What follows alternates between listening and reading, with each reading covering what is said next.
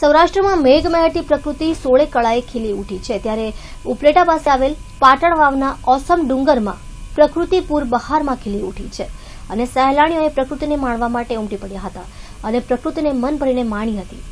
અહીં આવેલ પાણીના ધોધ પણ આકર્ષણ જોવા જેવું હતું.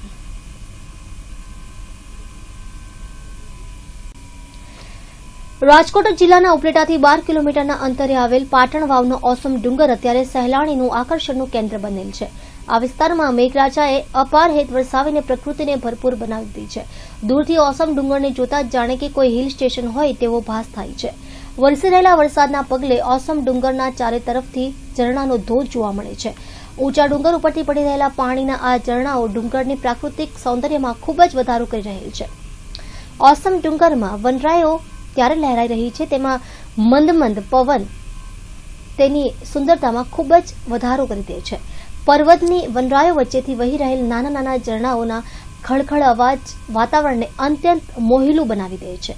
તળેટીથી ઉપર તરફ આવેલ ટપકેશ્વર મહાદેવના મંદિર તરફ જતા જતા તો ચારે તરફથી વાતાવરણ સહેલાણીનું મન મોહી લે છે. ટપકેશ્વર મહાદેવના મંદિર તરફ જતા વચમાં આવતા અને સોળે કળાએ ખીલેલ ફૂલો મનને પ્રફુલ્લિત કરી દે છે. ખીલેલ આ ફૂલો ઉપર ઉડી રહેલ પતંગિયા જાણે કે પ્રેમનો સંદેશો આપતા હોય તેવો ભાસ થાય છે.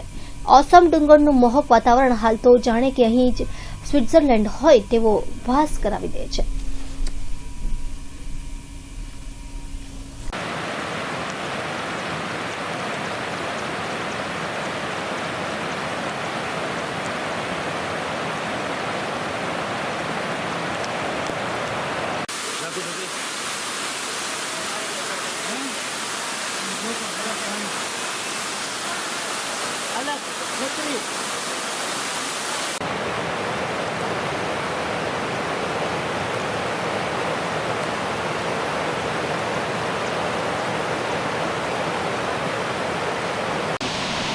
અહીંયાનું વાતાવરણ ખૂબ સુંદર છે. અહીંયા આવીને અમને એમ લાગે છે કે અમે કુલુ, મનાલી મહાબળેશ્વર ને એવી જગ્યાએ પહોંચી ગયા છીએ.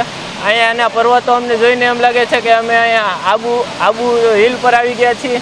અહીંયા ધોધ પણ ખૂબ સરસ છે ત્યાં અમે ખૂબ નાહીને ખૂબ એન્જોય કર્યો છે. અહીંયાનું વાતાવરણ ખૂબ સરસ છે. અમે ગામ ઉપલેટાથી ઉપલેટાથી તેર કિલોમીટર ઓસમ ડુંગર આવેલો છે અને ઓસમ ડુંગર એટલે એક ખરેખર ફરવાલાયક સ્થળ બહુ રમણીય સ્થળ. બીજું આપણી આસ્થા જેને કહેવાય કે આપણે બાજુમાં માતૃમાનું મંદિર છે, તે પણ એક શક્તિપીઠને સ્થાન દઈ શકીએ. આપણી આસ્થા અને એન્જોય બંને સાથે અહીંયા ફેમિલી સાથે આવો અને ખરેખર વન્ય સૃષ્ટિ શું છે તે જોવા માટે અચૂક લાભ લીધા જેવો છે આ જગ્યાનો.